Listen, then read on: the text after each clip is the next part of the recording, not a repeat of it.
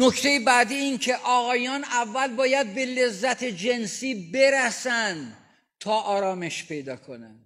خانم ها ابتدا باید آرامش پیدا کنن تا به لذت جنسی برسن. خانم ها برای لذت جنسی مقدمه می‌خوان احساس آرامش می‌خوان ایمنیت خاطر می‌خوان احساس امنیت باید بهشون داده بشه تا ورود پیدا کنن به نیاز جنسی.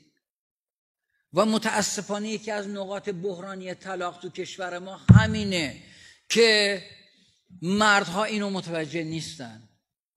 به همین خاطر مرده خیلی حول و ولا داره که هر چیز زنه میگه چته چیه چیه چیه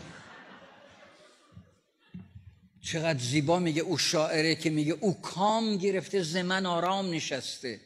من تازه به شوق آمده او خسته خسته. من تشنه تر از تشنه و او سیرتر از سیر.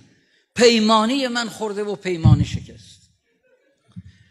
متاسفانه متوجه نیستن. مرد بعد از اینکه ارتباط جنسیش انجام داد خور پفش گیره خوابش به همین خاطر این زن بعد از سه سال پنج سال هشت سال میاد مشاوره. میگه من در این رابطه جنسی حتی یک بار حتی یک بار به ارگاسم نرسیدم. حتی یک بار لذت جنسی رو من دریافت نکردم. حتی یک بار. پس شما انتظار دارید همیشه یار از توی بزنه بیرون. نمی‌زنه. اینو بدونید هر چه فاصله رابطه جنسی بیشتر بشود در مرد میل جنسی بسیار شدت پیدا می‌کنه.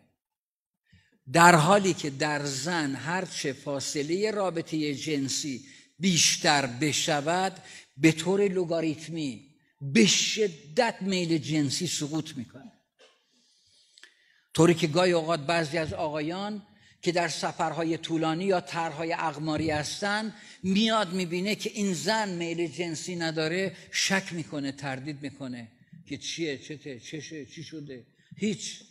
آقای محترم طولانی مدت نبودی میل جنسی در زن اتفاق پیدا کرده. خاموش شده.